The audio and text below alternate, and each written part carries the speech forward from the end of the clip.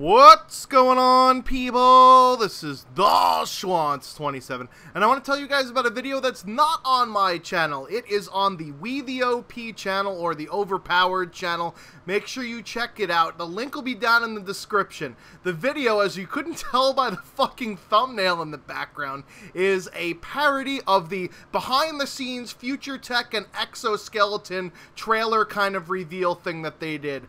I play this fucking dipshit who's got this stupefied look on his face in the parody video. It is fucking hilarious. I think I nailed it to a T. And there's a cameo from Eddie the Chump playing the other co-founder of Sledgehammer Games. It is really fucking hysterical. It is one of my best parody videos to date, so make sure you go check it out. And also subscribe to the Overpowered channel if you haven't already. I always do the top 5 plays and the not top 5 plays every week over there. And also, I just recently edited the third Overpowered Team Rage compilation, so if you guys enjoy my When Things Go Badly series, make sure you check that video out as well. I'll throw it down in the description. It is amazing. Now, for the rest of this week, tomorrow, we've got the Battlefield Monthly montage. I split it up into uh, different games, as you guys suggested the last time. Then on Wednesday, I've got a Titanfall patch parody from last week sometime that I completely forgot about, so I'm sorry for getting it out a few days late, but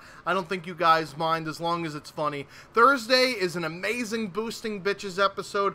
Friday, some Battlefield Rage, and then some Call of Duty lulls after that to round out for the rest of the videos this week. So I hope you guys are looking forward to it, and uh, I'll check you later. Peace out, you douche canoes.